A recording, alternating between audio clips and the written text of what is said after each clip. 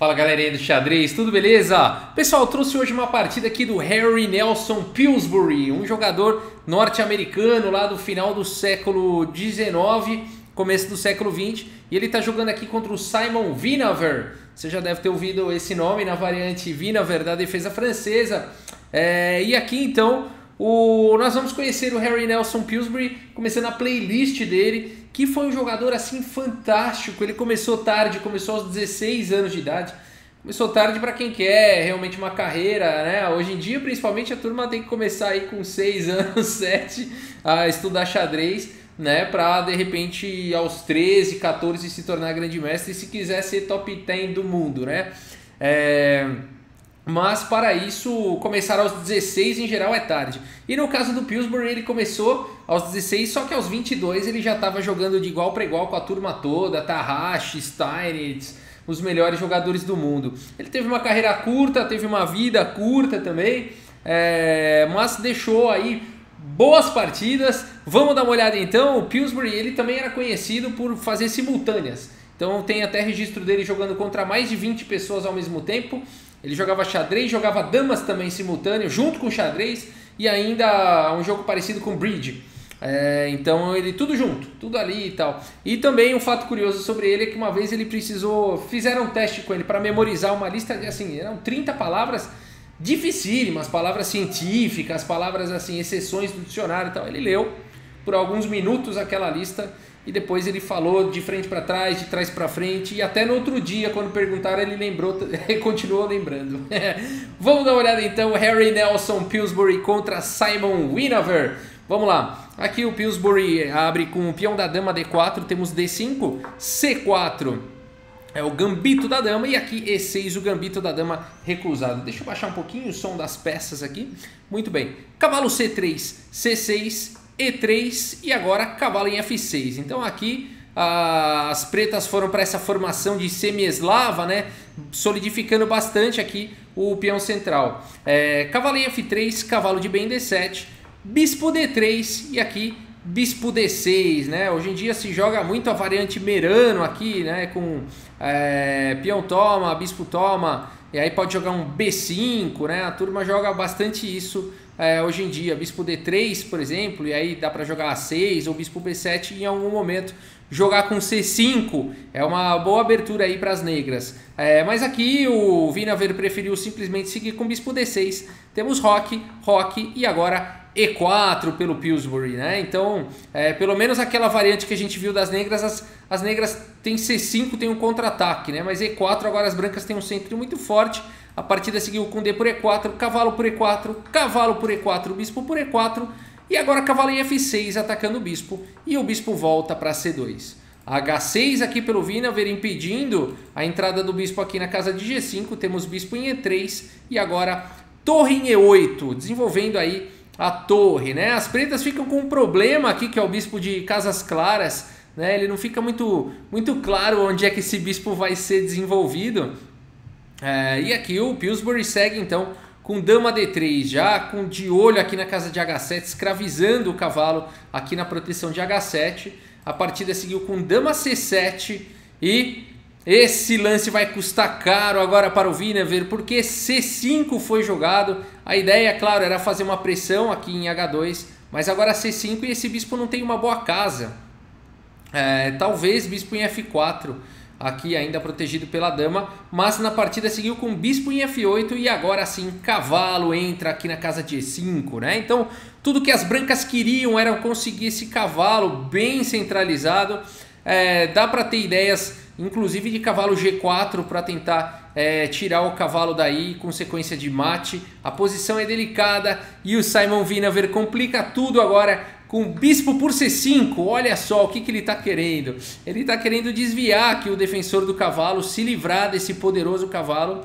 É, e aqui então o Pillsbury vai para o melhor lance da posição. Aqui um lance surpreendente e muito bonito, bispo por H6. Rafael, o que está acontecendo agora? É, porque bispo aqui eu até entendi, né? Se o bispo capturasse, se o peão capturasse, o bispo estaria caindo o cavalo. Mas agora o que, que esse bispo por H6 tem a ver com essa história toda?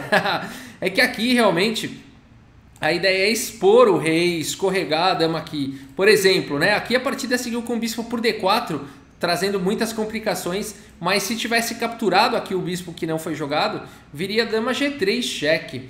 É, e aqui teria que jogar cavalo G4 para você ter ideia, cobrir aqui esse cheque com, com cavalo. Porque se jogasse rei H8, por exemplo, estaria vindo cavalo G6, olha que violência, né? E aí depois de F por G6, dama aqui por C7, ganhando a dama.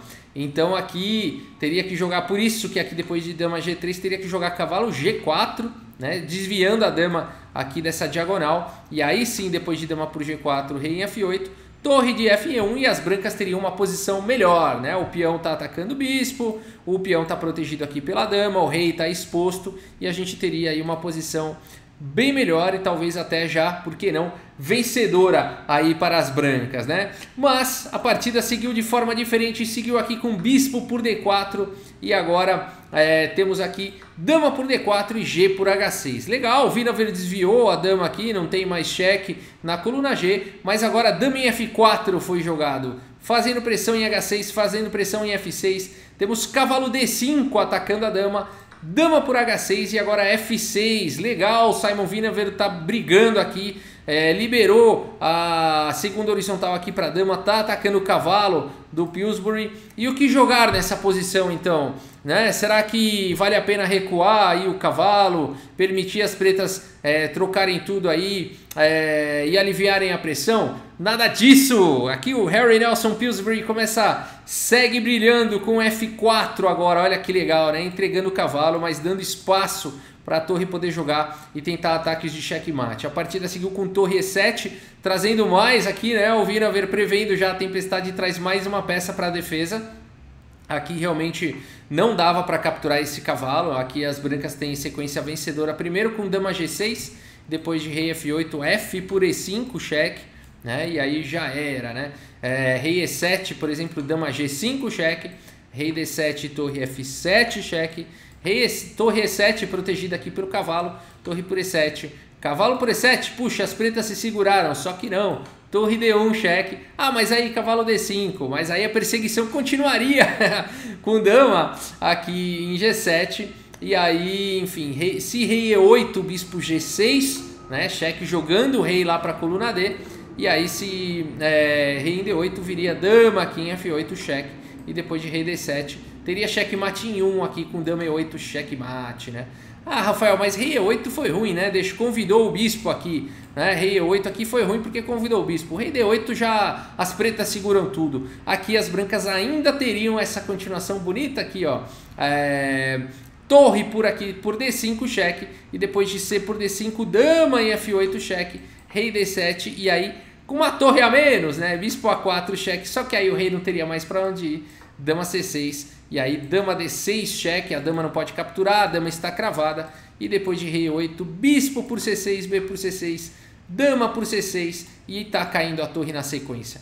Puxa, Rafael, será que o Pillsbury viu tão longe assim? Né? A gente, tudo com esse lance F4 aí, Talvez não, né? Mas o ponto todo é que aqui você está trazendo mais uma peça, aqui você não tem muito que contar a peça, né? Não tem problema você sacrificar esse cavalo, sendo que o bispo e a torre não estão jogando, você está trazendo mais uma peça, o rei está exposto. Então aqui você não precisa nem fazer muito cálculo para jogar F4. Tem gente que gosta de fazer cálculo ali no mínimo detalhe, né? Tem gente que gosta ali de calcular todas as variantes e tudo bem, tá tudo certo. Mas não precisa ser assim. Você pode jogar de forma mais intuitiva também, depende muito do estilo de cada um, né? Mas aqui dá para perceber que tem esses ataques aqui em geral, né? Agora, tem gente que não gosta de errar, né? De jeito nenhum, faz ali todos os cálculos e tal. Então o xadrez é assim, aí usa mais tempo, né? E tá tudo certo. Mas aqui o Mikhail Tal era um cara que tinha esse estilo mais intuitivo, né? Ele calculava, claro, ele tinha um poder de cálculo absurdo, mas na maioria das vezes ele calculava apenas para validar um lance que ele já via, né? Tamanha a experiência dele, tamanho estudo, tamanha genialidade. O Kasparov dizia, o Mikhail Tal vê os lances, né? Então, mas a partida seguiu com F4, agora torre E7, o Vinaver prefere trazer mais uma peça para defender o rei. E agora mais um lance forte aqui, Cavalo G6, o lance de arremate da partida. Cavalo G6, olha isso, né? Atacando a torre, mas dando suporte aqui para as casas de H8 e F8.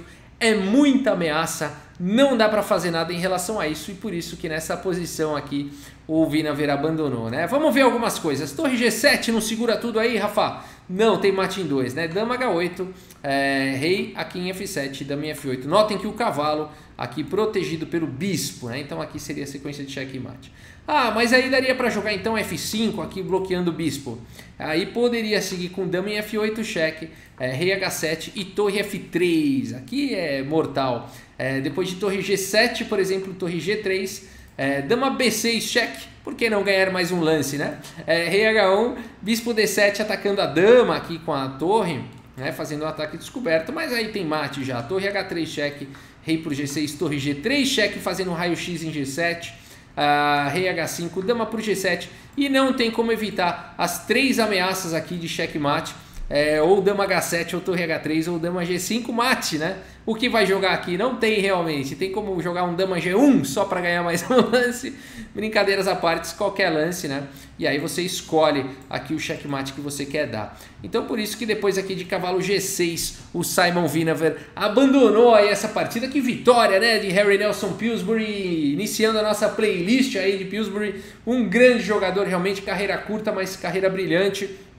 É, principalmente aí nos anos de 1895 e 1896 ele ganhou muitos torneios importantes que ele jogou, ganhou Hastings, que era um torneio fortíssimo, é o torneio mais difícil do mundo e tal.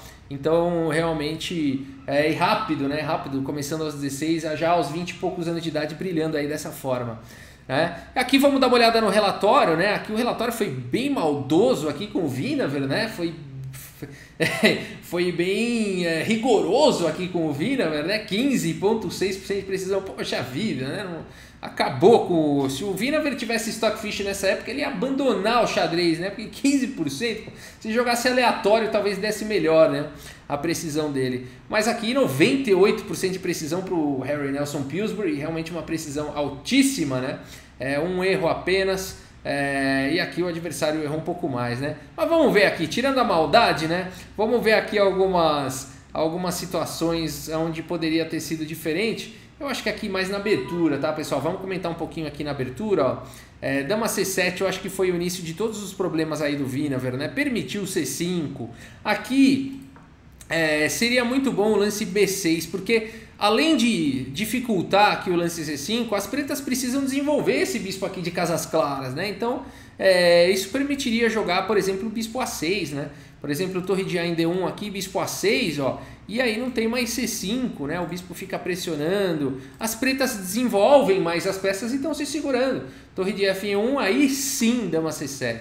Então depois de B6, bispo A6, aí sim Dama C7 seria um lance interessante. E aqui está tudo certo, está bem equilibrado, tem chances aí para os dois lados. Né? Então acho que o primeiro problema foi esse, Dama C7, sem resolver o problema do desenvolvimento do bispo de casas claras e além de tudo permitindo aqui C5. Né? Então Dama C7. Depois de C5, talvez aqui Bispo F4 fosse considerado. Bispo F8 é um lance bem passivo, né? tira a casa do rei, deixa esse bispo de casas escuras é, ficar com bastante atividade. Né? Aí vem o cavalo E5. É, e agora, bispo por C5 veio com essa ideia interessante, mas não contava com bispo por H6, né? Então aqui talvez torre D8 fosse um pouco mais sólido, aí mantendo a pressão é, no peão central, é, ameaçando o bispo aqui por C5, cravando aí o peão central, né? E aí depois de cavalo G4, por exemplo, poderia seguir com bispo E7, cavalo por F6, bispo por F6, dama H7, cheque. Puxa, parece que as brancas estão muito bem. Rei F8, de fato as brancas estão melhores né? Aqui já, já, já tá tarde para tentar acertar o lance aquele torre D8, mas as pretas estão se segurando, não está tendo ataque de mate, nem, nem de nada disso. Quem sabe a longo prazo as pretas conseguem trocar umas peças aí e tentar empatar, né?